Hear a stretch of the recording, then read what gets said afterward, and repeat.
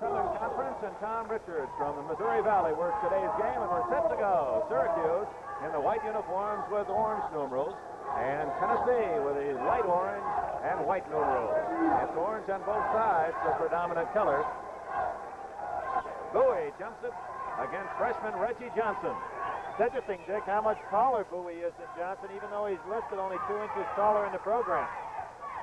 And we're underway with Syracuse. Dale Shackelford controlling the tap. Williams is the playmaker. Extremely fast, number 22 with the ball. I think Syracuse expected Tennessee to start a little bit of zone, but it's man-to-man all the way. Kelly working inside on Darden. Bouie outside. We'll introduce the players. Kelly to Williams. Williams to Byrnes. This is Williams driving. Oh! he Scoops in a flying one-hander from underneath. That's what Jimmy Boeheim wanted. Get him off to a fast start. Turnover, Shackelford to Williams. Look at that speed. Right around Darden, but he can't hit it. Rebound to Syracuse. Tennessee a little tight so far. An errant pass, and there was a rebound they should have had. Zone defense, 1-3-1 by Tennessee on the out of bounds. Darden, the point man. That's Marty Byrnes, the left-hander not there, and a rebound to Johnson of Tennessee. Volunteers on the attack. Grunfeld. Foul. Holding on Shackelford of Syracuse. The first foul of the game. A shooting violation. You can, excuse me, Dick, there's Ray Mears on the sideline. Here you're going to see a guy going in there, Ernie Grunfeld, just so strong. He's getting the ball inside. They had part of the ball. Actually, it didn't look like too bad a block, but being as strong as he is, it looks like you've got to put too much power on to stop him. Grunfeld, who uses all of that body in shooting the free throw. 81% on the year. He was second in the Southeastern Conference in scoring to his teammate Bernard King. Grunfeld scored 23 a game, and King had 26-point average. It remains 2 to 1 Syracuse.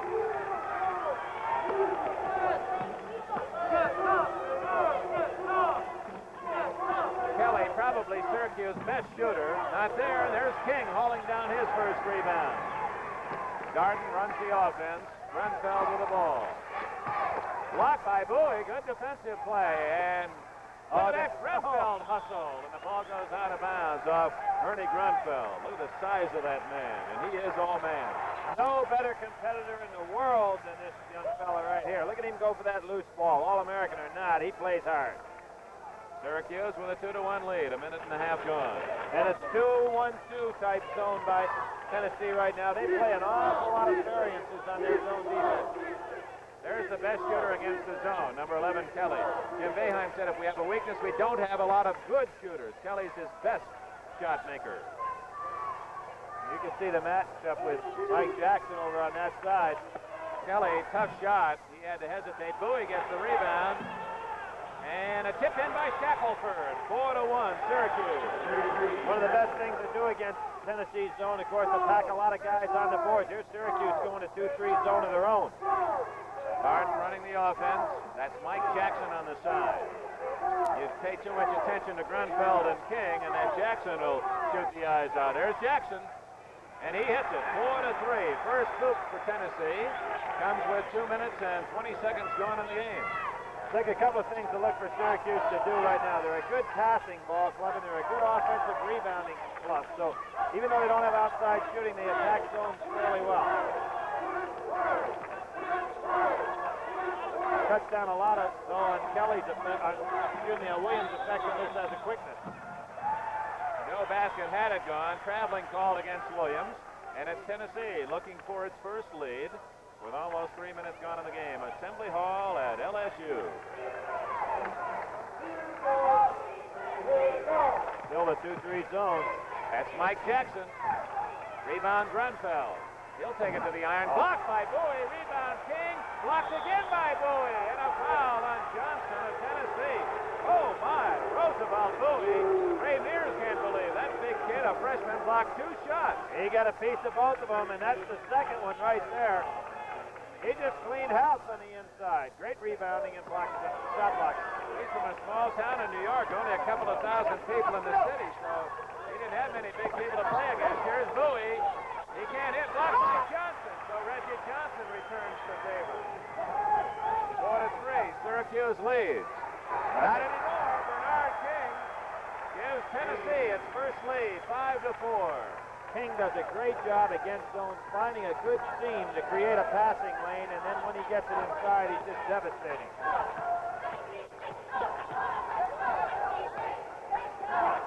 You can see Tennessee Roy has that zone backed inside. Kelly and Syracuse jumps back in front, six to five, as Larry Kelly hits his first bucket. He's averaging 10 points a game. Basket is it allowed. Bernard King scored it. It is. Foul on Bouie. King scored from inside. Anytime you see teams play a lot of zone, if they're really playing well, they don't allow people to penetrate outside. They play still tough on the ball. In both cases there, Syracuse allowed penetration, then the dump inside to King. And as I mentioned, when he gets in there, it's all over. All-American Bernard King.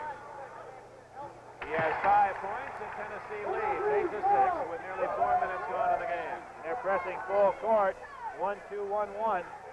Uh, it's the fourth defense they've used, and the game is what four minutes old. Byrnes helping out in backcourt. That's the man they want with the ball, Williams.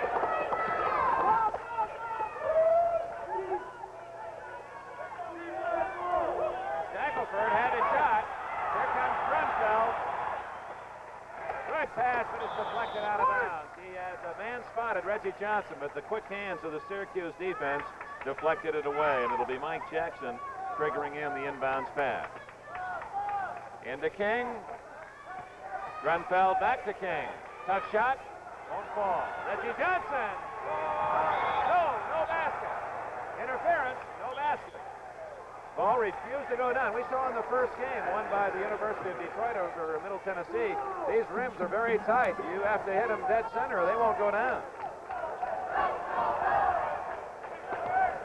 Syracuse looking for a tying bucket. Man-to-man now by Tennessee. They really do switch their defense. King knocks the ball out of bounds. Four and a half minutes have been played in this first half. Tennessee leading Syracuse 8 to 6. Syracuse lost only three games to St. Bonaventure, to West Virginia, and to Maryland. Pass inside, almost too good a pass. It surprised Bouie, and it goes to Tennessee. I think one of the big things Syracuse is going to have to do is recognize when Tennessee does switch defenses as to get the ball back out and get into their offense. Johnny Darden makes it 10 to 6 Tennessee. First basket for Darden. They pretty well leave him alone. He doesn't shoot that much, and he gets that 20-footer, he can hurt you. Bouie. Way off the mark. Foul on Shackelford over the top. Dale Shackelford has the foul. His second foul. And we have a timeout. Exactly five minutes have been played here at LSU where the score is the Volunteers of Tennessee 10, the Orangemen of Syracuse 6.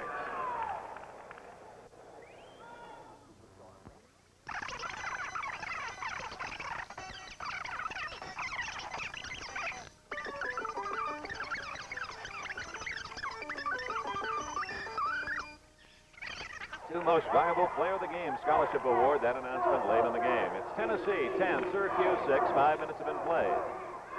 Volunteers with the ball and the lead by four. And Syracuse out of their zone, back to man-to-man. Great D.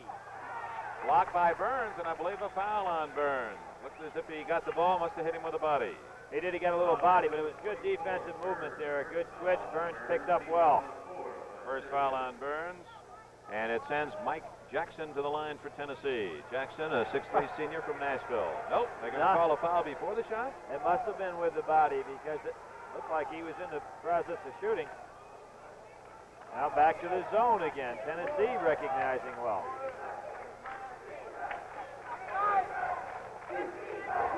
Tennessee has superior height advantage with the exception of Bouie in the middle. They're pretty much taller at every position. Darden slipping inside. And it's Bernard King with a tough shot from the baseline. 12 to 6 Tennessee with 14 and a half minutes remaining in this first half. Some of those ball handling drills that Tennessee used before the game came into play there on that loose ball. King with a quick hand. Williams way outside and drills it. Jimmy Williams makes it 12 to 8. Williams has four. He's not supposed to be a good shooter. Jackson gets it right back for Tennessee. Mike Jackson. Great pass by King.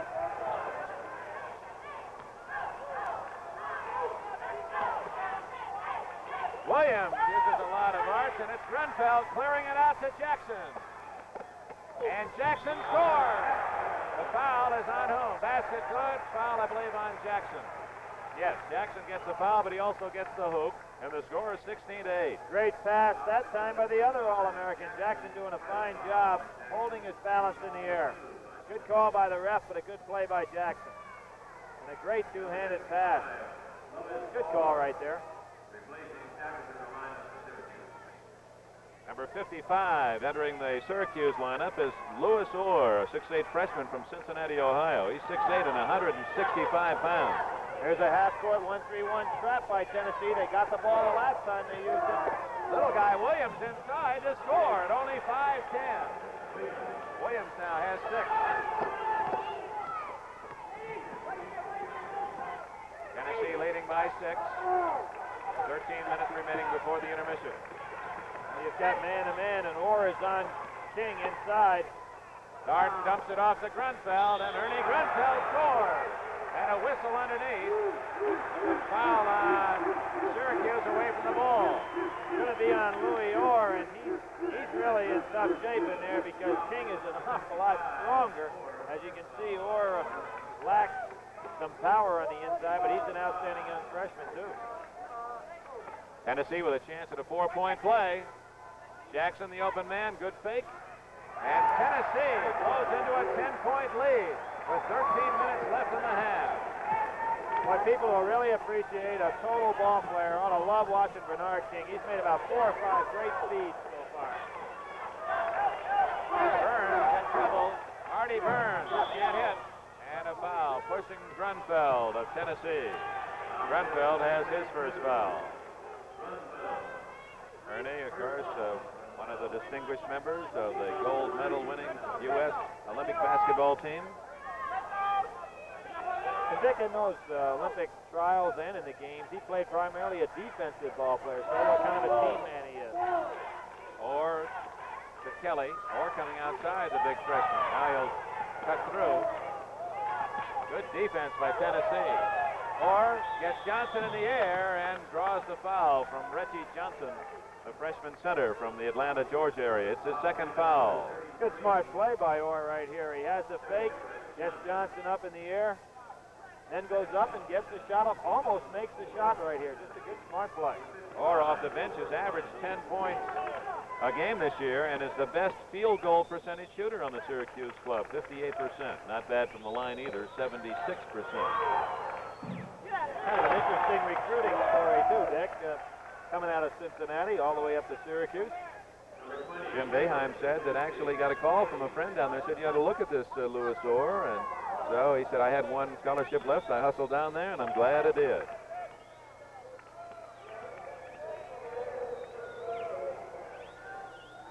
They liken him to uh, future Rudy Hackett. They'll take that, I'm sure. Can't hit the free throws, however. And it's Tennessee. Grunfeld leading a 3-2 break. Darden throws it away. That time he didn't quite have control. Tried to make a tough play after having the loose ball pickup. We pause briefly for station identification. This is the NBC Television Network.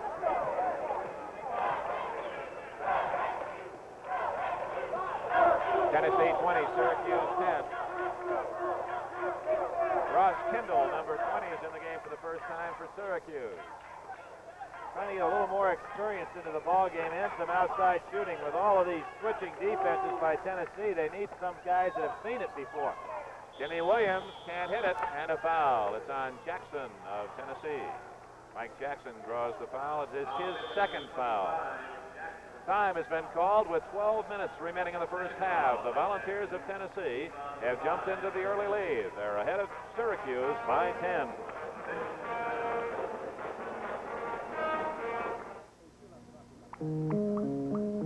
Hey, if you love coffee like I do, you probably drink hundreds of cups a year. And wouldn't it be nice if every cup were perfect every time? I mean, this one exactly like that one. Well, everyone can be if you get Norelco's Dial-A-Brew. It makes coffee exactly the way you want it. light, medium, dark. Pay less, you can pay more, but you can't buy a finer coffee maker. And only Norelco has Dial-a-Brew. Dial-a-Brew. So much flair, so debonair, with a touch of class. Do you know what Mercury Monarch has that all the small cars don't? Touch of class. Only Monarch has the look of a Lincoln Continental and the smooth ride.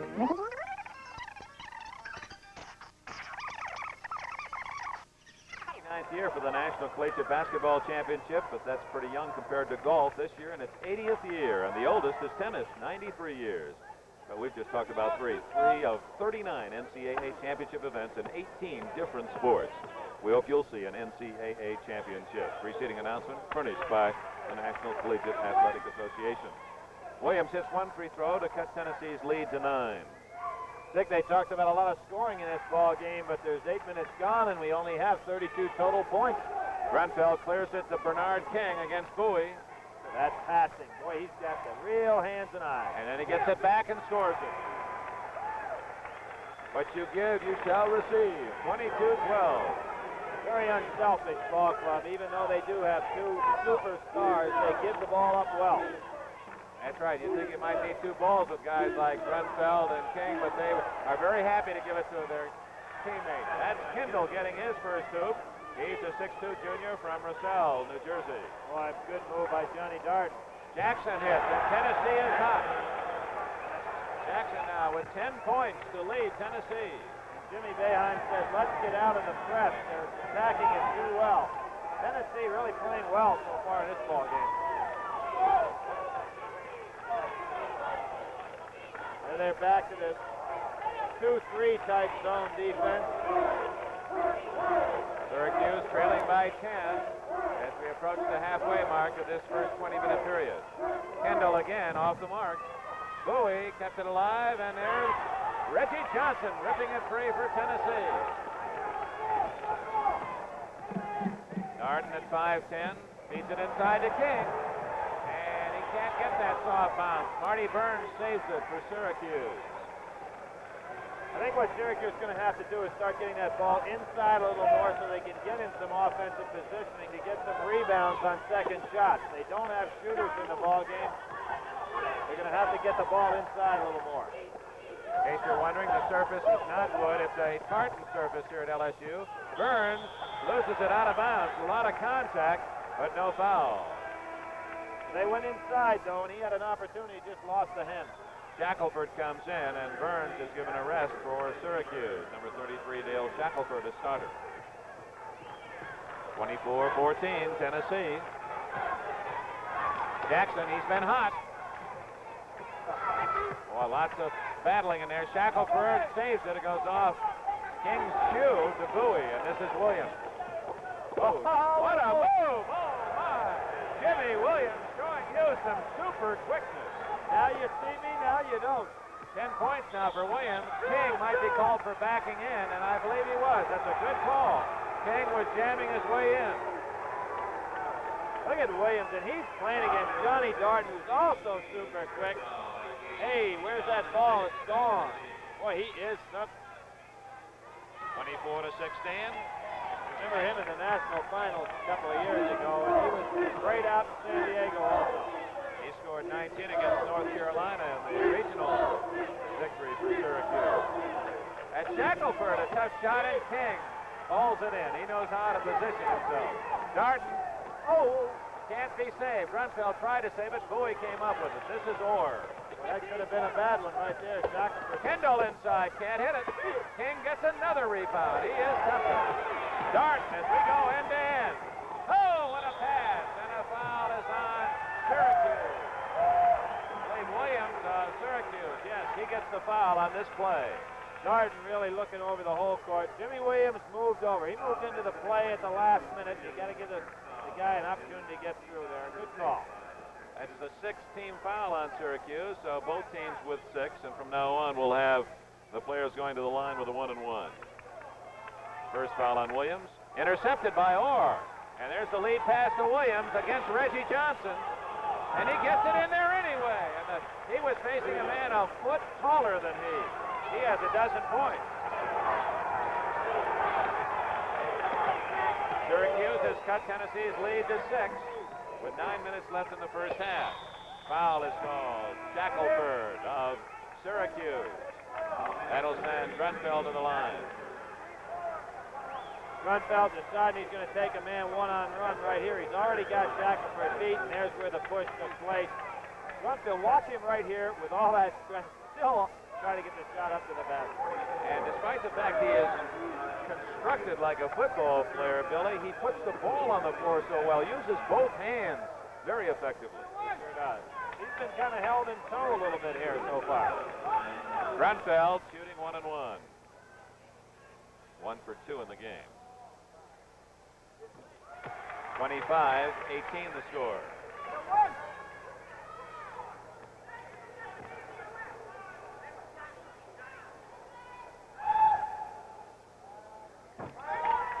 Five points for Grunfeld, and Tennessee back on top by eight. Jimmy Boeheim looking for the combination that can start putting some points on the board. That's been their trouble. There's the inside game. Marty Byrnes getting the bucket. Byrnes averaging 10 points a game for Syracuse. They have six men averaging around 10 to 14 points a game. That is a team without a big scoring star, but everyone can put it down. Now they're back in the 2-3 type zone. Jackson way off the mark. Rebound Kendall, and he throws it away. 26-20, Tennessee. Grunfeld to King. Blocked beautifully by Orr. Look at that King hustle. And he knocks it out of bounds. Well, good block right here by Grunfeld and an excellent pass inside. Look at King getting his position, but great block right there by Louis Orr. Way off the mark, Syracuse, but underneath is Kendall to score. Ross Kendall at 6-2 gets the bucket, and it's 26-22. Grunfeld back to guess who for Tennessee. Here's your All-America player. He says enough of that, and he gets Tennessee on the board and the six-point lead for the Volunteers.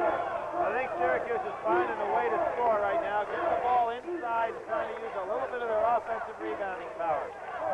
Byrnes to Orr, inside and knocked away. Picked up by Orr, and then he'll be tied up by Grunfeld. Grunfeld and King both down on the floor. Orr is 6'8", and Grunfeld 6'6". Orr should have the advantage on the tip. Seven and a half minutes left in the first half. We'll be back at Grandstand in New York at halftime, and now a good look at how they'll pair up in the regional first round, the semifinals, at four sites starting Thursday night.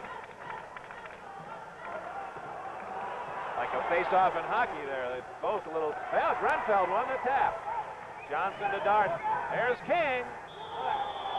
Traveling on King. That was he had to try to catch the ball with the fingertips to still get his feet in position to score. And you can see that's exactly what he was doing, Dick, getting those feet in position and he keeping his eye on the ball. Just a real gifted athlete. Now we saw Marques Johnson, the great All-American forward at UCLA yesterday. Bernard King named on that same first-team All-America by the coaches.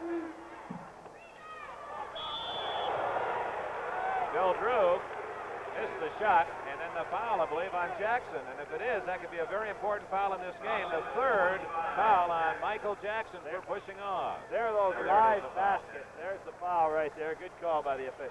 We have a timeout with seven minutes plus remaining in this first half. It's Tennessee in front of Syracuse, 28-22, as we return you now to our studios for this message.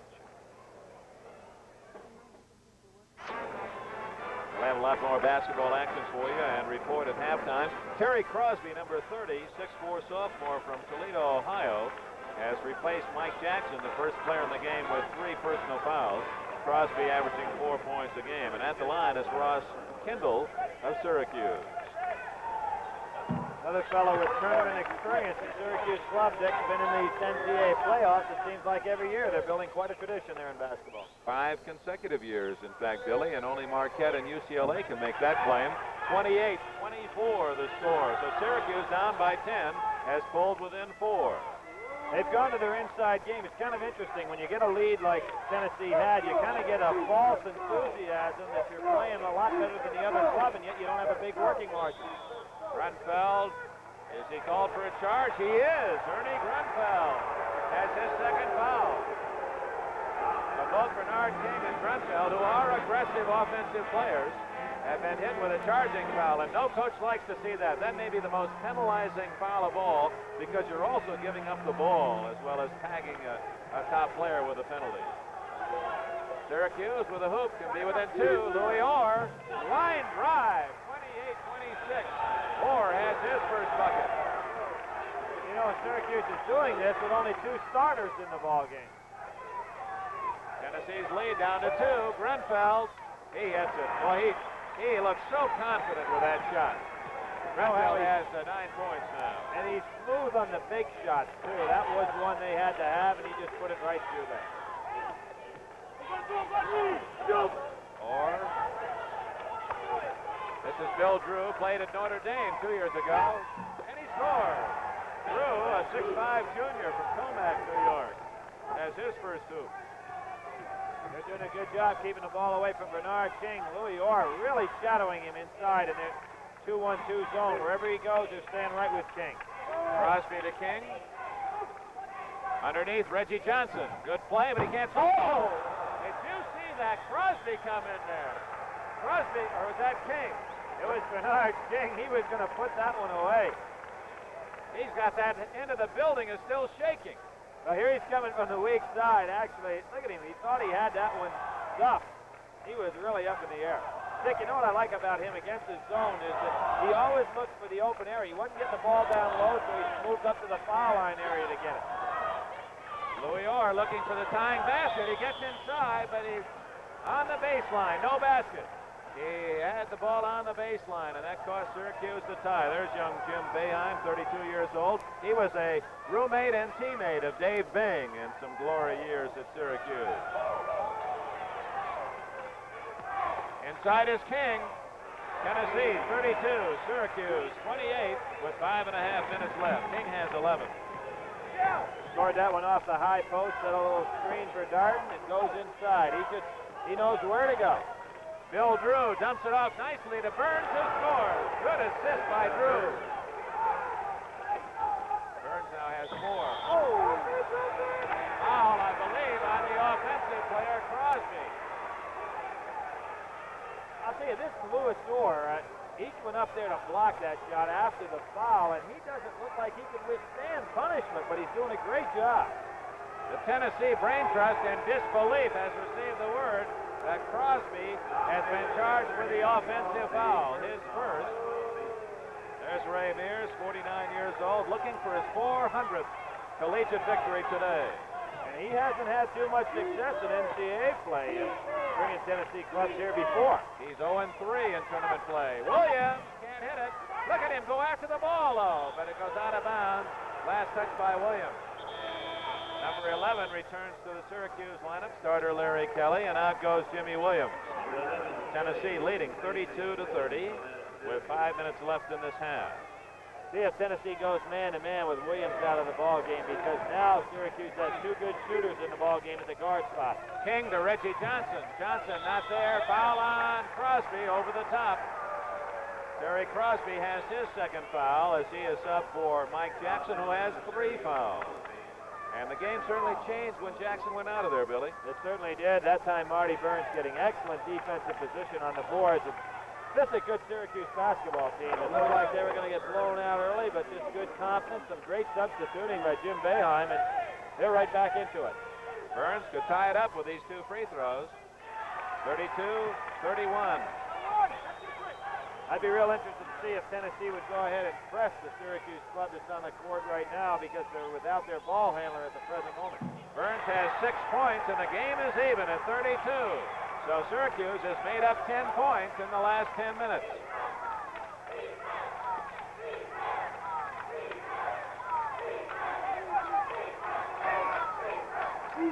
Inside, Bernard King fouled, reaching in. Syracuse, it appeared to be against Kendall. We'll wait for the call.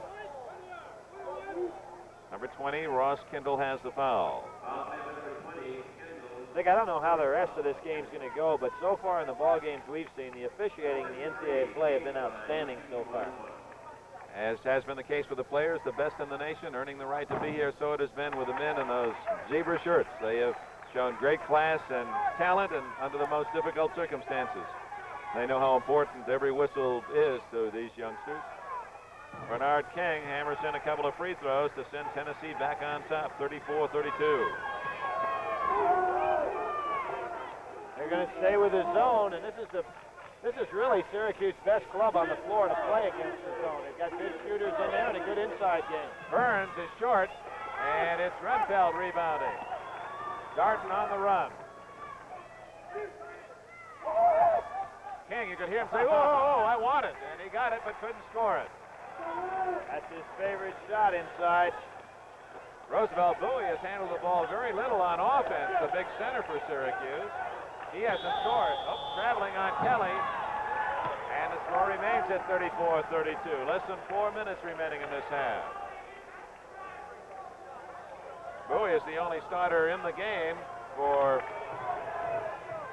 Syracuse, and Reggie Johnson, his counterpart for Tennessee. Neither center has scored, which is an unusual statistic.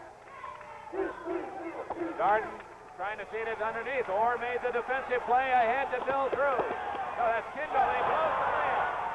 Kindle loses the layup and, and now feeds it off to Bouie, who scores. Can't believe it. But it says two, says Boeheim. It counts for two, and the game is tied at 34. I like he had a swimming meet there for a while. Looked like he had it for five seconds. Grunfeld to Crosby. Not there. Orr, he's done a good job on the board since coming in. Syracuse looking for the lead. It would be the first time since the game was four to three. Foul charging on Kindle. Not a good play by Kendall, and no business going in there.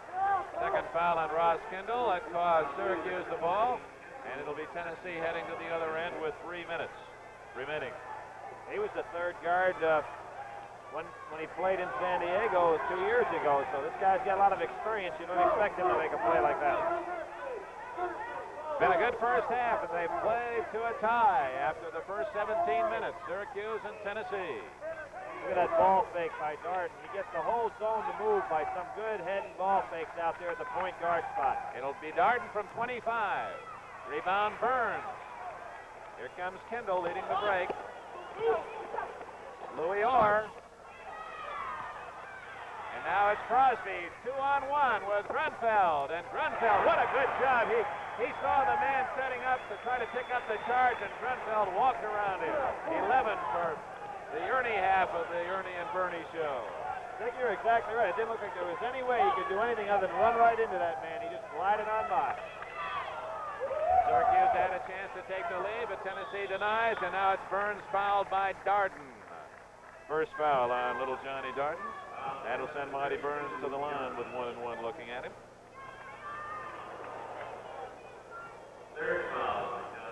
Boeheim, very impressed with him and chatting with him this morning. Uh, Billy, a bright young coach at 32 at Syracuse, taking over for Roy Danforth, who now is running the Green Wave program at Tulane. He looks a lot younger than uh, than he appears to be in both his court presence and obviously he knows how to handle a ball club because he had some masterful substitutions in his first half. Byrnes gets a kind bounce off the brace of the iron to make it 36-35 as Chuck Threeths, T-H-R-E-E-T-H-S, a freshman from Lackawanna, New York, where his high school team was unbeaten last year. 6-6 for Tennessee enters the lineup. He wears 33. And we've got to get on, Jimmy, about that player because nobody from upstate New York is supposed to get away from Syracuse or St. Bonnie. In fact, uh, no basket, no free throw. Somebody invaded the lane prematurely, so that cost Syracuse the tie at 36-35. Four of the five starters for Syracuse within 100 miles of the campus at Syracuse. Bernard King. Oh, what a pass, but it got away. Byrnes makes the defensive play. Here comes Kelly. I'm surprised Tennessee has stayed in the same zone for so long. They haven't changed defenses very much in the last 10 minutes, and that's not like them. Primarily a 2-3 with a little matchup. Open is Bouie, and he can't hit the easy one. Roosevelt Bouie missed an easy shot. Here comes Tennessee. That's got to hurt Syracuse a bit emotionally. Crosby No basket. He shuffled his feet going up for the jumper, and that cost Tennessee a three-point lead. So it's 36-35. Syracuse heading up court. A real good ball player that's going to take that jumper wide open from the corner. He'll start getting his feet organized as the ball's coming to him rather than after he catches it, which is what Crosby does. Orr to Byrnes, great pass right through Bouie's fingertips. Now, Roosevelt Bouie having a rough first half, but from all we've heard, that shouldn't continue, that he has a lot of composure for a freshman, and we'll be seeing uh, some more effective play from that freshman in the second half. The fact that he's in there with with the likes of Bernard King, uh, it might be a bit unsettling too. Crosby can't connect, but there's the ever-present Grunfeld. Ernie Grunfeld has 13 to lead Tennessee. If you had asked me, Dick, how many points he had up to now, I'd say about six. It's incredible how he just flows along in the ballgame. Tennessee leading by three. We're in the final minute of this first half. 45 seconds. Kendall can't hit. Tipped. No, it does not go in, and it's out of bounds to Tennessee. So the Volunteers will have a crack at the last shot with 36 seconds. King and Grunfeld both with 13. How's that for balance? The two great stars for Tennessee. They're going to go out half court zone trap. Good move by Syracuse here. They're going to force a little tempo. Not going to let Tennessee to get off an easy one. 22 seconds. Darden, great ball handler. Uh, he's the first guy ever to play point guard as a freshman for Tennessee, which is quite an accomplishment. Now Syracuse moves back makes them take a tough one. Grunfeld to King. He'll shoot it. Can't get it. Rebound Orr. Four seconds to time for a final shot. Two, one. It's short. And that's the end of the first half. And a good 20 minutes of basketball it was here at Assembly Hall on the campus of LSU. The score at halftime. Tennessee 38, Syracuse 35. Back to grandstand after these words from your local station. And Mike Jackson with 10. More importantly, perhaps the foul situation. Johnson and Jackson, two of the Tennessee players, have three fouls. Johnson, the starting center, didn't score for Syracuse. Syracuse has Dale Shackelford in foul trouble with three. Jimmy Williams, the lightning fast guard, 12 points to lead. A well-balanced Syracuse attack. Billy, the shooting percentages team-wise in the first half. Now 48 and 37. That 37 being for Syracuse. They didn't do well at all in the early part of the half. Then they started going with their inside game and played an awful lot better. Back to John Wooden's preference. Anytime a team is that far off in their shooting percentage, they should be uh, evening things out in the second half, which would mean Syracuse should be a potent force here. We'll see as we start. Roosevelt Bouie and Reggie Johnson, the two freshmen, big men jumping, and interestingly, neither scored in the first half. Rebounds, Grunfeld led Tennessee with eight, King had six, and five for Dale Shackelford uh, to lead Syracuse. Grunfeld controls the tap. Tennessee gets the first chance to score in the second half. Mike Jackson with three fouls starting the second half. Grunfeld inside. Foul, and he scores. Bouie fouled him, and Grunfeld got it in anyway. Boy, did he use his shoulder on that play. Just power supreme right here. Now watch him dip his shoulder in. He's going to take Bouie with him right here. Boy, great play. That camera angle on that particular play showed you how strong Ernie Grunfeld is. Well, Grunfeld looking for his 16th point. And then how soft he is, but he misses. Bouie gets the rebound for Syracuse. Kelly and Williams the backcourt for the Orangemen with Bouie in the middle. Byrnes and Shackelford at forward. Tennessee really went a long time with that 2-3 zone, and Syracuse started to pick it apart. Williams trying to find Bouie, and the ball goes out of bounds. How many times did we see that the first half? Syracuse wants to get the ball to the big guy. They can't seem to do it. Nice play by Marty Byrnes, who helped out Bouie as he batted the ball away from Bernard King. This is Kelly. Short. Kept alive and saved by Grunfeld. Over and back. Grunfeld had already, or had he hit the sidelines? It was the sidelines call. Grunfeld was out of bounds. Dick, these are about as live a backboards and baskets as we've seen in a long time. Therefore, a lot of rebounds are coming out 10 to 12 feet away. Tennessee leading 40 to 35 as Kelly pumps and hits. Larry Kelly has four for Syracuse, and it's Tennessee's lead cut to three.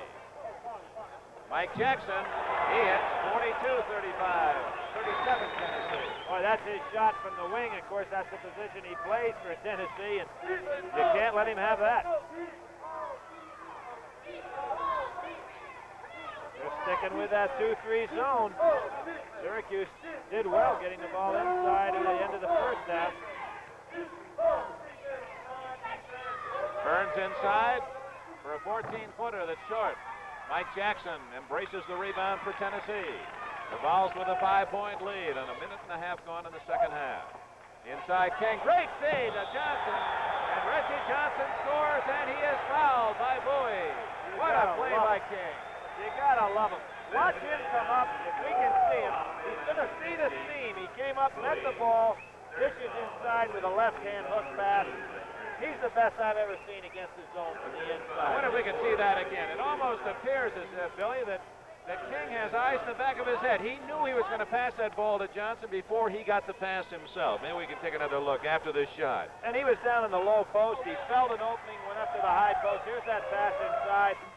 Boom, right in there. Boy, he's a great player. And it becomes a three-point play for Tennessee's Reggie Johnson. And Syracuse now looks at an eight-point deficit. Kelly hits his second shot of the second half, 45-39 to score. Kelly has six. But even though Syracuse is falling behind, Tennessee's zone lacks a lot of the quick aggressiveness that they usually use in it. It's very stationary. I want to remind fans, Billy, that we'll be going with you again Thursday. Four different regional games. Each of your regions will see one big game in the semifinals of the regionals. Grunfeld hits 47-39. Grunfeld leads all scorers with 17. Didn't even touch a thing. Every shot he's taken from the outside has gone straight through tonight. That zone is packed way back in there, and obviously they feel Kelly being the only threat from outside. Louis Orr does not charge. He was blocked, they say, by Darden. Darden hadn't quite established himself.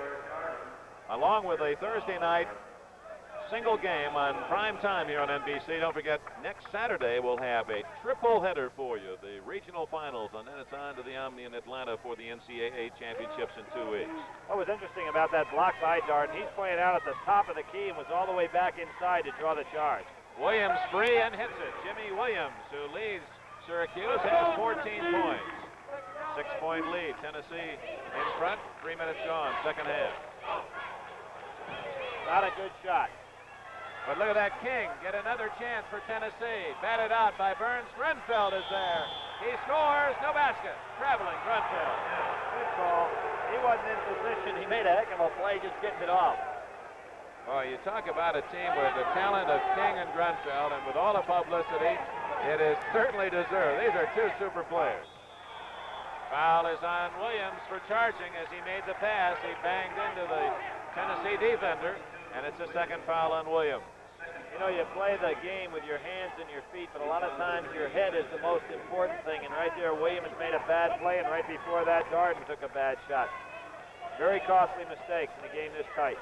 Syracuse now with a man-to-man defense. Williams on Darden, the two quickest men on the court. Johnson can't connect. Shackelford almost knocked it away from his own teammate, but handles the rebound. Look at that Williams fly down court. Jackson with a fake as he fell down, and the rebound by King. Darden. The thing about Williams that makes him so quick is with the ball, he goes faster than he does without it. Jackson. And a foul is on Kelly, number 11 of Syracuse. 47-41, Tennessee leads it. It'll be the Volunteers playing it from underneath their own bucket. First foul on Larry Kelly. Get a feeling this is a key time for Syracuse right here. They're down six, and Tennessee seems to be playing very well offensively. Oh, Grunfeld didn't get the hoop, however, but King rebounds. He can't hit it. Tipped uh, over the bucket by Johnson. Three easy chances. The ball wouldn't drop for Tennessee. Williams to Orr. That's got to be traveling, doesn't it? He scores. No traveling? That's what the Tennessee people think also. Unless the ball was tipped and the official was right there to see whether it was tipped by the Must have been Tennessee touched. people. Must have been touched. Darden can't connect. Look at that Grunfeld, but he can't save it. Watch out as Grunfeld goes right into his own coach's circle. Here's the play. Let's see. Let's see if Johnny Darden does. No, he didn't get a piece of this. It just went out of his hand. That's got to be traveling. Yeah, you can't do that.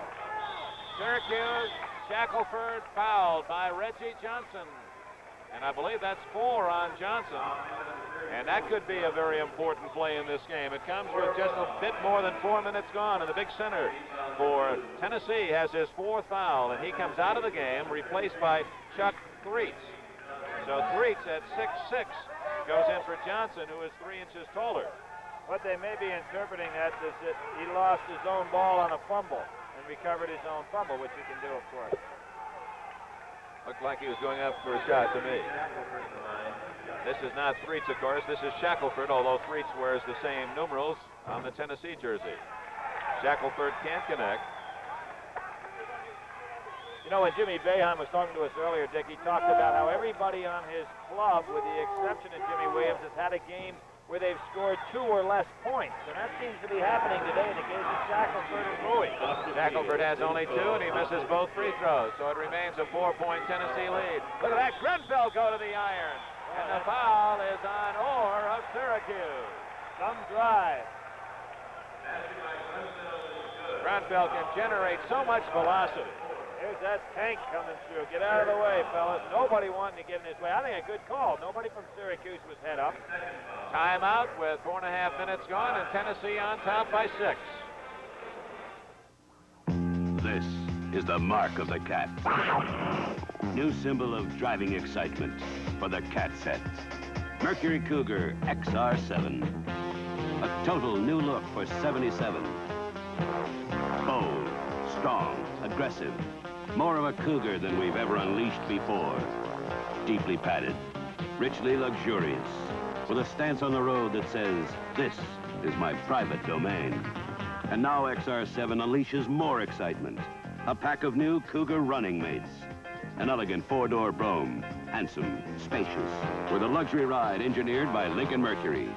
More excitement in two-door hardtops, and a sporty Cougar wagon with rich wood-tone paneling fresh from the lair, and yards of cargo space. New luxury, new action for the cat set. See all the new Cougars for 77 at the sign of the cat. Tennessee's Ernie Grunfeld going for the three-point play and looking for his 20th point of the game as Tennessee leads Syracuse 49-43. Grunfeld, the all-time career score at Tennessee, 2,223 points. Byrnes rebounds for Syracuse. Kelly brings it up. Tennessee still in the 2-3, and there's the men they want shooting. That's Larry Kelly. He's the gunner from outside, has eight points. Four-point Tennessee lead. King to Grunfeld. Look at that King leap, but he fouled in the process. That would be an interesting one to see again. He gets his feet underneath that great body in such beautiful position for the vertical leap. Watch it. Well, Ernie Grunfeld took a shot he really didn't want to, but there's Bernard King. I'll be honest with you, Dick. I think that was a pretty good rebound. He was going for the ball and just happened to make some body contact. 49-45, Syracuse trailing Tennessee with 15 minutes left in this one at LSU. Tennessee changes up, goes man to man. I didn't expect them to stay in that defense all the time. Kelly can't hit, but Orr rebounds, can't score. A foul, however, on Threeths of Tennessee, number 33. It'll be Chuck Threeths' first foul, and that sends Louis Orr to the line. Orr played against the Russian junior team last year, scored 15 points. They kid him about his lack of weight. They say, if nothing else, you'll make all skinny this year. Say the kid's had a good game today. He has indeed. 6'8 and 165 pounds. Trying to cut the lead to two. 49, 47, Tennessee. Dick, you get a feeling that Tennessee has a false sense of security in this game. That they're playing like they have a big lead, and yet Syracuse hangs right in there. Marty Byrnes with a foul in the backcourt, non-shooting violation. And for Byrnes, I believe that's his first foul. Second foul on Byrnes. Once again, Grunfeld used his power that time. Being double teamed, just rammed the ball on through to draw the foul. Shackelford on Grunfeld. Foul away from the ball. Bernard King apparently with an illegal pick. And for King, that's his third foul. Used an elbow in the process. Marty Byrnes did a good job with positioning that time. Bernard King trying to get position through the elbow. Syracuse with a basket can tie the game. 14 and a half minutes left. And they're man-to-man again. Trying to change up. Syracuse recognized well on that defense. Byrnes hawked by Grunfeld defensively, and Grunfeld says, yes, I know, I fouled him, and Grunfeld has his third. So King has three. Grunfeld has three. Jackson has three, and Johnson four. So almost the entire starting lineup is a concern for Ray Mears. Their foul total continues to mount. That's a small ball club they have out there. Everybody has got decent size, but Darden, but not a big man. Kelly ties it up for Syracuse. Larry Kelly makes it 49-49. They have not recorded those two points on the scoreboard yet, however. Now they do. 14 minutes left. Syracuse back to man-to-man. Great steal by Shackelford to Williams, ahead to Byrnes. One man to beat. It's Jackson. Go! Byrnes gives Syracuse the lead. And a small contingent of Orangemen fans across the way cheer as Syracuse leads for the first time since the first two minutes of the game. Timeout, 14 minutes left. Syracuse jumps in front of Tennessee, 51-49. Ron Taylor, the dry look. Pat Mahoney, the dry look look. Wait a minute. That's the dry look, but that's not. Oh, sure it is. It's the dry look Max Hold from Gillette. It's a pump spray, see? But it gives you the same dry, natural look. All right. And it gives me a longer hold. It's not stiff. Now, there's regular aerosol and Max Hold pump. There are two ways to get the dry look. And the dry look look. 1949. what about it? I used to use a one-bladed razor to shave with in 49. Hey, I just bought this. Maybe, but Trac II is how America shaves now, my friend. The first blade stretches the whisker out, so the second blade can shave it again, closer. Hey! Uh, listen, could I... Get your own, turkey. to 25 million Trac II users, no one-blade razor comes close. Alan Arkin picks up Sally Kellerman and Mackenzie Phillips. And... I'm being kidnapped by these two girls. Call the police! In Rafferty and the Highway Hustlers, Monday. Byrnes, his clutch player, and here's why, as he gives Syracuse the lead by two. Real good steal there, and as I said, there was a false sense security by Tennessee. There's Byrnes just slamming it through. 51 to 49, Syracuse in front with 13 minutes, 57 seconds left in the game. Dick, I'd look for Tennessee to come out and try to put some more pressure on defensively. They've kind of lulled themselves to sleep on a defensive end. Syracuse doing a good job picking away. Bernard King with the ball. Back to King. You could hear that war whoop of Kingston. He can't get it, however. Louis Orr rebounds for Syracuse. That's the second tight shot that he's missed. Tennessee man-to-man now, but they're still not as aggressive as they normally are. They've lost some concentration on defense. Syracuse has picked up the momentum. They're starting to believe they can win this game. Louis Orr slithering underneath, but he throws it away. Darden made the defensive play for Tennessee. And now it's the Volunteers looking for the tying basket. Stolen by Shackelford. Darden to beat. Ahead to Williams. Jimmy Williams gives Syracuse its biggest lead. Four points. Going to be a change of the point guard position for Tennessee. That last pass really got Ray Mears upset. This is a good defensive team, Syracuse. They're really hawking in that man-to-man. This is Jackson. Lost out of bounds by King, but it was touched last by Syracuse. As number 10, Bert Bertelkamp, a 6'3 freshman from Knoxville, Tennessee, Bearden High School, best Knoxville prospect since Jimmy England in 67, says Ray Mears, comes in. And you saw Darden take a seat on the bench. Bernard King, foul on Orr of Syracuse. Big King tried to get off a shot there, too, knowing that he'd been fouled. He's missed a couple of easy ones inside that he normally doesn't miss.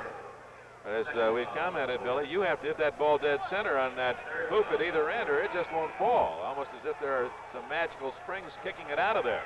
Roosevelt Bowie, number 50, back in the lineup for Syracuse. Orr comes out. Both teams in that bonus situation. So now with this game being this tight with so many minutes to play, foul shooting is going to be important. Bernard King is a perfect four for four from the line. Syracuse lead is whittled to three at 53-50. You don't see that often if both teams get it one and one this early. A very important factor the rest of the way. Plenty of time, just under 13 minutes remaining. Syracuse leading Tennessee by two. We really have not had an upset in the entire first round of the tournament. Is this the time? Williams Kelly, it's the score. Larry Kelly is hot in the second half. He now has a dozen. There's the halftime score. North Carolina, Charlotte, and Central Michigan battling a three-point game. Whistle before the shot, and the foul is underneath on whom? Foul is on Syracuse. Dale Shackelford, and I believe that is his fourth foul, so that's a big call against the Orangemen. Shackelford has four fouls, and he'll re be replaced now by Louis Orr, the freshman. As we pause briefly for station identification, this is the NBC Television Network.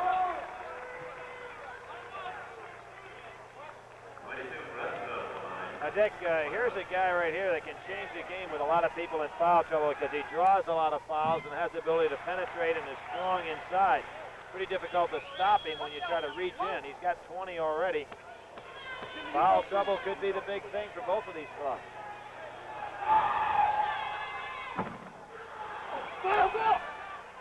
Who's going to get it?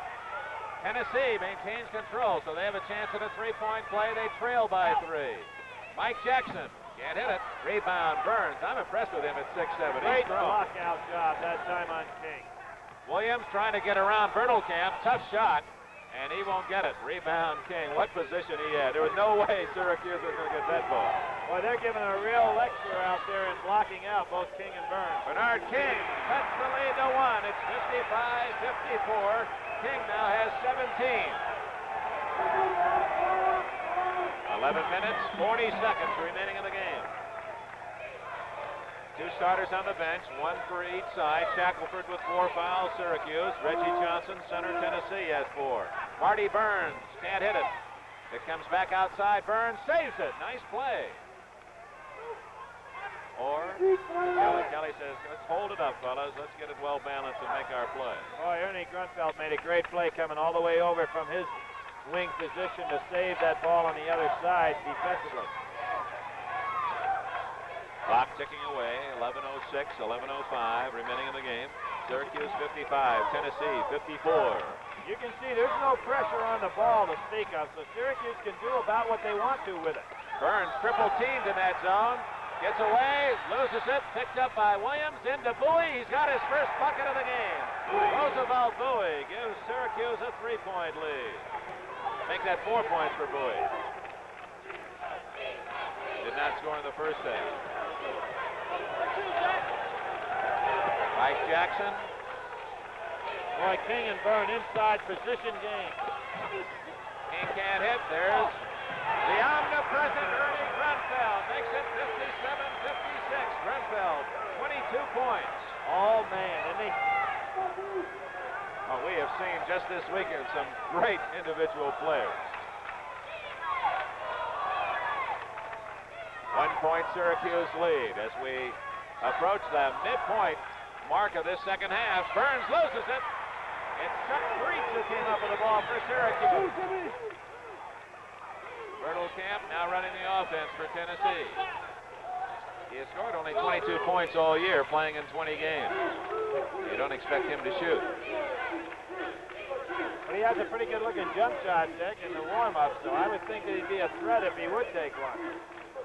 We're under the 10-minute mark. He knows what he's out there for, and that's to get the ball to the Bernie Ernie show. Oh, a little high, but Jackson climbs the ladder to keep it in play for Tennessee. Very patient ball club. They're starting to play. Uh... There's Grunfeld. That's his shot. Can't hit it, and Bouie rebounds. Ahead to Kelly.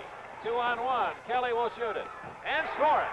Oh, he's made some clutch shots for Syracuse. 59-56. Kelly with 14. Foul will be on Bouie. Roosevelt Bouie caught out of position defensively. And for Bouie, that'll be his third, I believe. or will it be his fourth foul? It's his fourth, and that's even more critical. Bouie has four fouls, the big, giant 6'11 center. And time has been called by the Orangemen of Syracuse. You see the statistics, 9.07 remaining, and the score, Syracuse 59 and Tennessee 56.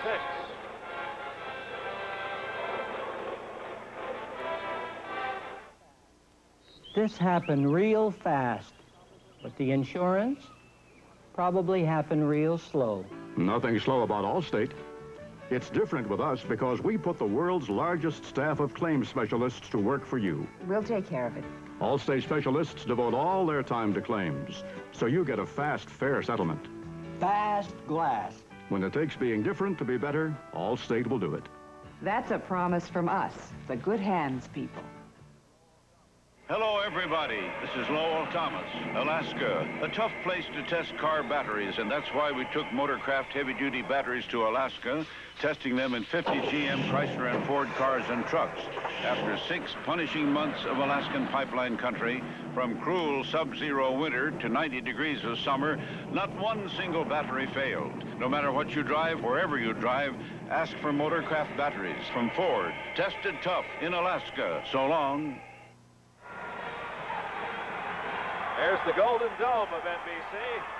Joe Garagiola, a reminder, Major League Baseball's 1977 season is just around the corner. Joe has a great one-hour special for us on Sunday, March 27th in The Changing Face of Baseball, the title. And Joe will be giving his own unique touch to a mighty fine program. Airtime is 3.30 Eastern Time. NBC Saturday Game of the Week coverage begins a doubleheader on April 9th. Here at LSU's Assembly Hall, 9.07 remaining in the game. Syracuse leading Tennessee 59-56. Bernard King has just made his 18th point of the game. He's the perfect 5 for 5 from the free throw line. 59, 58. Nine minutes remaining. Tennessee still packed back in there. They're going to make Syracuse put that ball up from the outside and try to beat them off the boards. Kelly has scored 12 points in the second half. That's Kelly with the ball. Darden back in for Tennessee. Kelly trying to feed underneath, deflected and intercepted by Grunfeld. Volunteers looking for the lead. Jackson did a good job of controlling that pass. He just wanted to catch it and keep it in play. Grunfeld gives the Volunteers the lead. Ernie Grunfeld scores again. 24 for Grunfeld. I don't think I've ever seen a guy want to take more big shots than he does. Every time it just seems like it's automatic for him. That's a definition of a winner, isn't it? He wants the ball when the tough times arrive. A lot of players say, no, let somebody else have it. He wants it.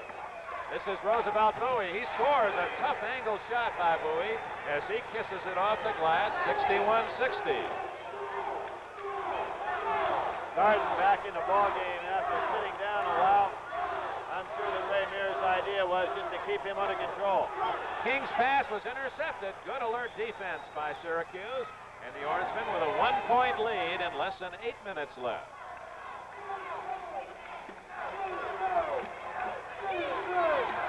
They're really giving Jimmy Williams the shot. Now here's where scouting comes in in a ball game. They're going to let him take the outside shot. And, he, he will. And can't hit it.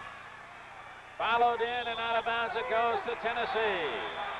Orr did a good job of getting his hands on the ball, tried to tip it home, but it wouldn't find the net. Ray Mayer says number 20, Ross Kindel, returned to the Syracuse lineup, 6'2 junior. And Jimmy Boeheim does a smart thing, too. He said, wait a second, they're giving him the shot, so that makes that zone really tough on my other four guys, so he makes the substitution, puts Kindel into the game, give him a little bit more of an outside threat. Syracuse in his zone, and that's Jackson way out. Tough on my other four guys, so he makes a substitution, puts Kendall into the game, give him a little bit more of an outside threat. Syracuse in his zone, and that's Jackson way outside. Not there. Grunfeld can't get the rebound. Kelly does. Kelly will slow it up. But he better pick him up. He likes to stop and take that jumper. Shackelford weaves inside. Good move by Shackelford to make it 63-60 Syracuse. Less than seven minutes remaining, and the Orangemen of Syracuse trying to hand Tennessee an upset loss. Bernard King rattles it right back in for the Volunteers. 21 for King, and Grunfeld has 24, 45 total for the Bernie and Ernie show. Kevin Byrnes being out of the ballgame was doing a great job against King, and now with him out of there, he's been able to get better position. See if Kendall tries one. No, they work it around the outer perimeter. You can see Darden's not even putting any pressure on that shot from the top of the key. It's available. Inside and stolen away. It'll be Tennessee's ball. Grunfeld picks it up. Feeds it ahead to King. Lost it for a moment, then he saves it to Reggie Johnson. Johnson is back in for Tennessee. Mike Jackson, and he can't hit. Out of bounds. No, one oh, hand. King doesn't get it and a foul. Who's it on? It's on Mike Jackson of Tennessee, and if that is Jackson, it'll be his fourth foul.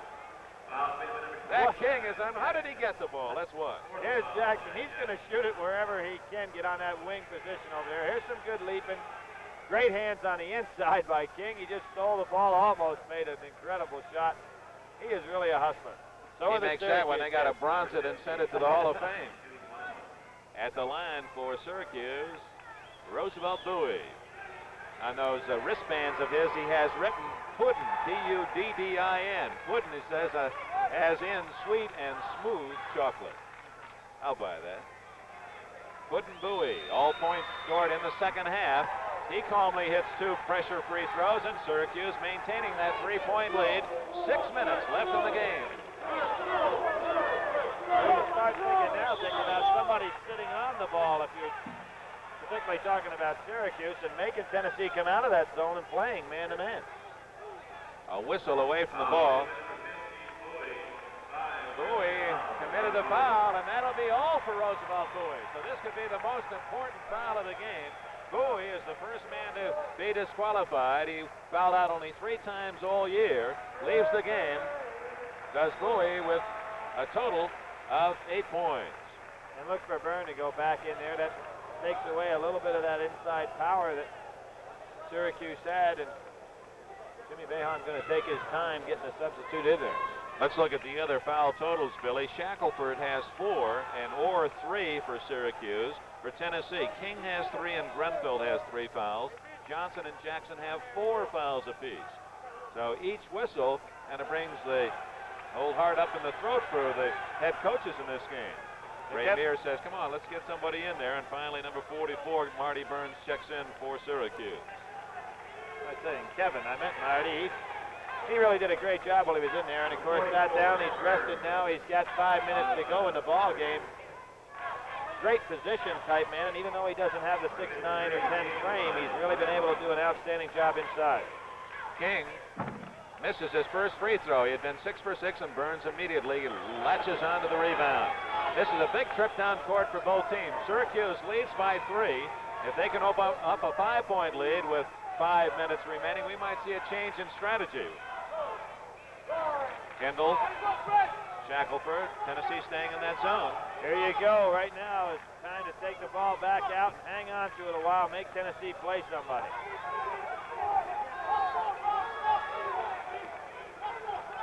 And Tennessee's going to have to pick up man-to-man. -man. They can't afford to let the clock go by this long. 5-17, 5 minutes 16, 5 minutes 15 seconds left. Syracuse leading Tennessee 65-62. The winner meets the victor of the UNC Charlotte game against Central Michigan. There's the man-to-man -man now. Tennessee forced to come out and pick up. Syracuse using the clock very well. Inside it goes to Byrnes. Grunfeld on him. It's Byrnes. Oh! Tough shot. Grunfeld playing him eyeball to eyeball. 67-62 the score. 11 for Byrnes, his average. 4.45 left in the game. Stolen by Kendall. Oh, he, did he go out of bounds? No, he's all right. Kelly banks it, scores it. Syracuse 59-62. Their biggest lead of the game with four and a half minutes left. Tennessee needs a timeout right here. They're getting carried away with it. Jackson inside, almost turned over again. It goes out of bounds to Tennessee, and Shackelford came very close to intercepting the ball. Tennessee a little confused right now. They went man-to-man. -man. Syracuse attacked very well, and they're trying to play too quickly. Grunfeld is blocked by Orr, and a foul on Orr. He got a piece of the shooter, Grunfeld. Big Ernie, oh, he said, I, thank you, you hit me in the head, I'll be okay, said. You're going to believe that Orr could knock down Grunfeld. Now watch this right here. Ernie's going to go right down. Orr at 163 pounds soaking wet. Ernie at what looks like about 280. Boy, he's powerful. And what a good kid. He is, uh, you hear nothing but superlatives about Ernie Grunfeld from the men and women who know him best. He's just a class person. Senior, four straight years, first team All SEC, second team All American this year. And almost went to Syracuse. That's right. It came down to his choice was between Syracuse and Tennessee. And uh, Syracuse thought they had Grunfeld, but he elected to go the Volunteers' State. 69-64. Clutch free throws by Grunfeld, but Syracuse with 4.20 left in the game has a five-point lead. Big move right here. 1-3-1 half-court zone press, and they drop back. They're going to pick up man-to-man. Orr can't score. He didn't hold on to the ball, but Shackelford gets it back, tries to feed Orr, and they lose it. That's a pass too many, Dick. Big turnover. Tennessee needs a bucket. Jackson fires. Won't go down. Rebound Orr. The kid is playing quite a game. You have to wonder why Mike Jackson's taking a shot like that with possession being so important. They've got to get the ball inside to Bernard King and Grunfeld to try to draw some free corners. Three minutes and 42 seconds remaining. Syracuse 69, Tennessee 64. Shackelford goes out of bounds, and was he forced out? I believe so. Foul on Bernard King. That's four fouls on King. So three Tennessee players are in the game with four fouls. King, Jackson, and Johnson. And the line, Dale Shackelford. Jimmy Dick, Syracuse really doing a fine job with substitutions today and keeping their composure when they were behind early in the ball game. And I just got that feeling of a false sense of security on the part of the Tennessee club. I don't think they're out of this game yet, but I think when they had a chance to put it away, they took away that concentration they had early. And you could see that Syracuse in this second half got that look in the eye. We believe it's 70 to 64 with three and a half minutes left. They've got to get the ball inside the King. Reggie Johnson. That'll goaltending. I don't think the ball would have gone in anyway, but number 33 Shackelford hit it on its downward flight, and timeout has been called. Let's see uh, whether or not. Well, how many times do we see guys try to block the ball or goaltend the ball anyway you want to put it? It's Orr going up there, and he's making the, the goaltending violation. Here's an angle right here. I'll show you. When you're right up under that basket and you go up for the ball, it's almost always goaltending violation. So the score is 70 to 66. Four-point difference in the game. Three minutes, 25 seconds remaining. It's been a grand game, and we're pleased you've joined us from Baton Rouge, Louisiana. A reminder that during the past two seasons, more than 45 million people have witnessed the fast-paced fun and excitement of NCAA college basketball. The demand for college basketball is really greater now than ever before. Since 1967, 168 new arenas have been constructed across this country. Over 700 NCAA institutions are currently competing in this game of basketball on the varsity level. NCAA colleges continue to produce the finest basketball players in the world, as judged at Montreal this past summer once again. The preceding announcement furnished by the NCAA. Three minutes, 25 seconds remain, a 70 to 66 game. And a reminder that we'll be back with you on Thursday night, four different games. You see the earlier contest today as University of Detroit will play Michigan in the first game on Thursday night as those two schools from the Wolverine State were victorious. And as soon as Detroit beat Middle Tennessee, they started chanting, we want Michigan, we want Michigan. Two on one. Will Kendall shoot? Yes, he will. Boy, that's And- a well-coached ball club right there. They knew that Tennessee was going to come out and press full court. They recognized the lead. King negates the basket by Kendall. Here comes Grunfeld. Grunfeld with a steal. Grunfeld can't hit it. Tipped out by Tennessee. So it'll be Syracuse with the ball and a 72-68 lead. Grunfeld, had he made that one, that might have turned the game inside out because it would have pulled Tennessee within two. They're picking up full court right now. Syracuse needs to get the ball back outside relax a little. Oops, Jackson going for the ball commits his fifth personal foul. That will be all for Mike Jackson, the wing guard for Tennessee. Jackson leaves the game with 12 points. On the season, he was the third leading scorer for Tennessee, averaging 15 and a half. So Jackson, the first volunteer to be disqualified. We'll check on Muir's replacement. It's number 30, Terry Crosby. So with this man-to-man defense that Tennessee's going to have to go into when it gets back down to a half-court defense, you'd be looking for Jimmy Williams to come back in the game, Dick.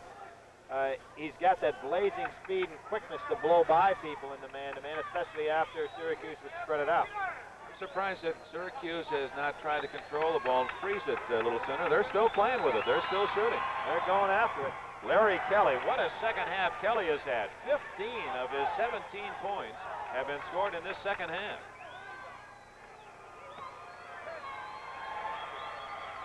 Yep, that five straight years in the NCAA. You can see Syracuse, these kids are playing with a lot of poise and under real pressure here in Baton Rouge.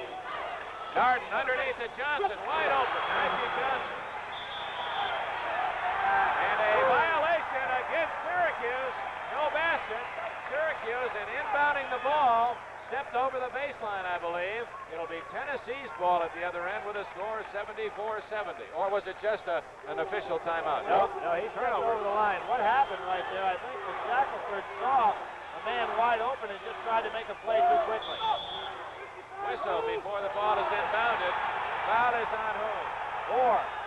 Number 55, Orr, and that, I believe, is his fifth foul. So Orr has fouled out, and that means that young Jim Boeheim has lost his two big men, the two freshmen, Bouie and Orr have both fouled out. Orr leaves with six, but his value to the team has been on the boards and defensively.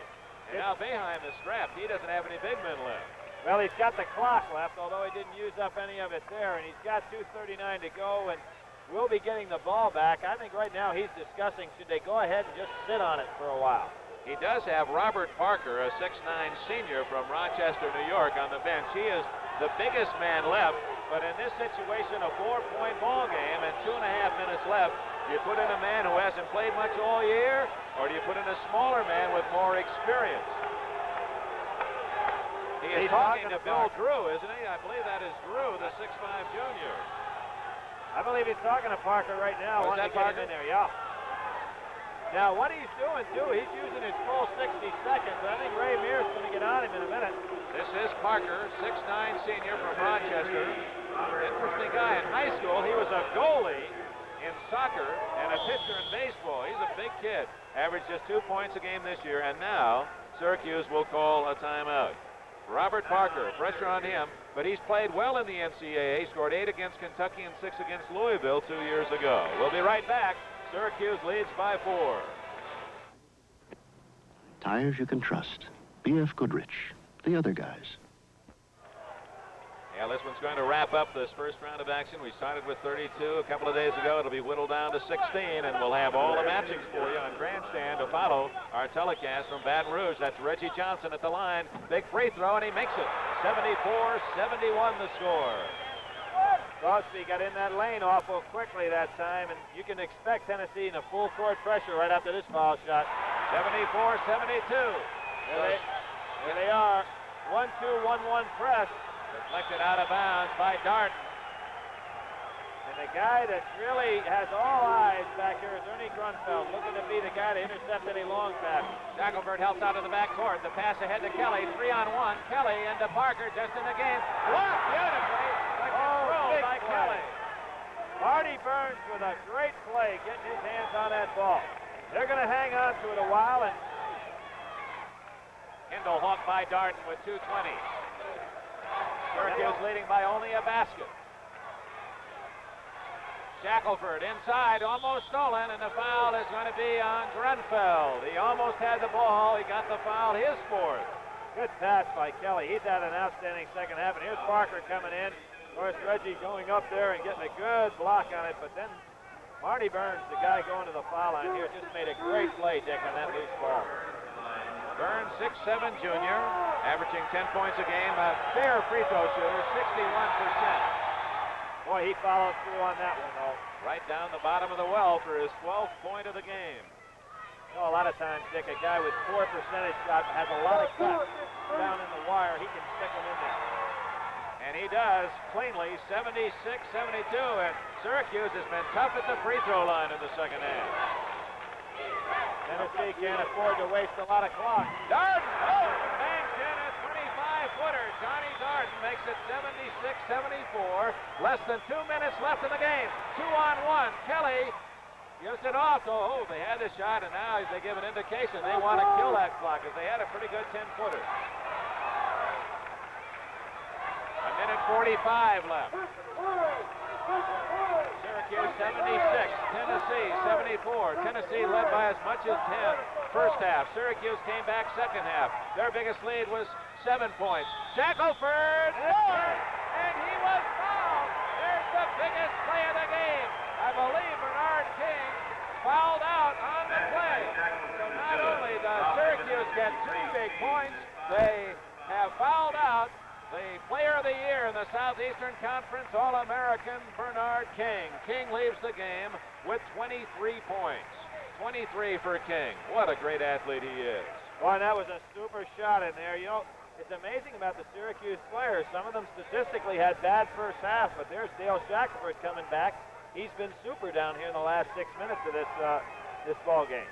That's, I guess, the, the credit when your coach says, I don't have a great individual player, and here's Bernie and Ernie, two outstanding players for Tennessee. Syracuse, by contrast, just balanced. Here's Shackelford, only five points in the game, and then he makes that big shot for his sixth and seventh points and gets King out of the game at the same time. And that was a tough percentage shot with King just nose to nose with you. Tennessee going to call a timeout. They're trying to make Shackelford think about it as long as possible. Shackelford, by the way, is one for four.